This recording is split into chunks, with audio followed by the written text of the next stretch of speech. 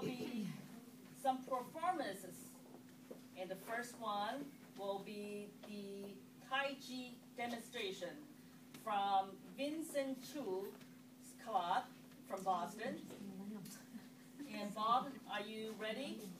Oh, you're Bob. Bob's And the next one will be. Nick. He'll be performing the Pungran program. Getting ready, and then special performance for the songs. Okay, let's welcome Bob to.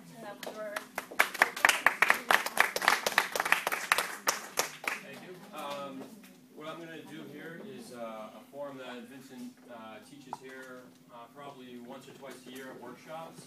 It's called the, um, um, it's the short, um, excuse me, the, um, small frame short form. Uh, he's going to be teaching it here, the uh, I believe the first weekend in December.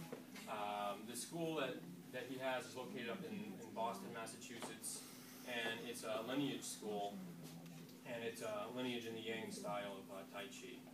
So this is it.